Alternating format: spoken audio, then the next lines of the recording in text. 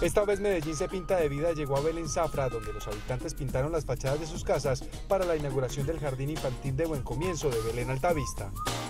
Allí van a estar todos los días 300 niños en sus programas de capacitación, eh, lúdicos, eh, de, de psicomotores, de desarrollo psicomotor.